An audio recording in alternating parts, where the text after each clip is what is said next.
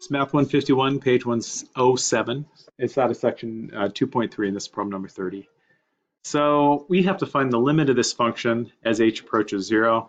And if you'll notice, uh, if I do direct substitution, I'm dividing by 0, so I can't do it right away. So let me do a little bit of manipulation, see if I can figure this out. So this numerator, uh, I'm going to simplify that a bit. So it's uh, 1 over x plus h, that's quantity squared minus 1 over x squared. And uh, now, if I'm going to subtract these fractions, I need a common denominator. So this one's going to need an x squared in it. This one's going to need a uh, x plus h squared in it. And uh, so that's going to leave me with an x squared minus um, x plus h squared over x squared times x plus h squared. I hope you can hear my family whispering uh, so then we'll keep going from here.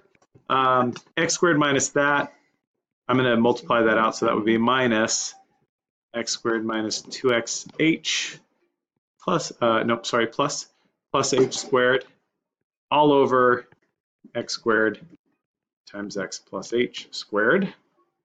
That distributed is, is that negative is going to get distributed in there. So x squared minus x squared is zero, leaving me a negative 2xh minus an h squared all over x squared times x plus h squared. So all that work was just to do this subtraction of those fractions in the numerator. So still taking the limit.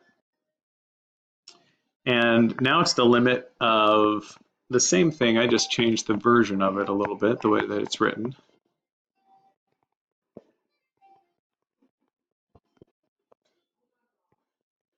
Over h. Uh, notice that up top I can factor an h out of this. So this would be like h times negative 2x minus h. Whoops, I wrote 2, and I said h. So that. So now this thing looks like this. h times negative 2x minus h over x squared times x squared plus h over h. So notice that now um, here I basically have this fraction divided by h. Um, in other words, I have, um, I'm just going to rewrite it and ignore the limit for a second, just to do some simplifying. Squared. Um, uh, where did that squared come from? Sorry.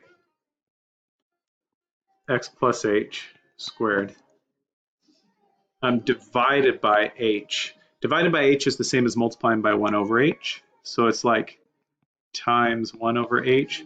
So these h's will divide out.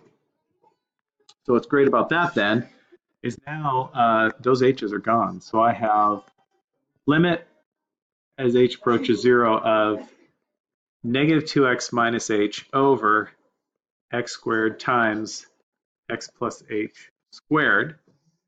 I'm going to make a little space down here. Because now notice if I plug in 0 for h, I'm not dividing by 0 anymore. I'm, I'm good on my direct substitution. So I'm going to plug in 0 for h and see what happens. Uh, so I have uh, negative 2 times x. I don't know what x is. That's all right. Minus 0 over x squared times x plus 0 squared, which is negative 2x over x squared times x squared which is negative 2x over x to the fourth.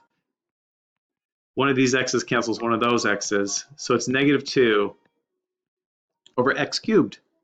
Whew, good job. One thing I want to change, this is actually number 32.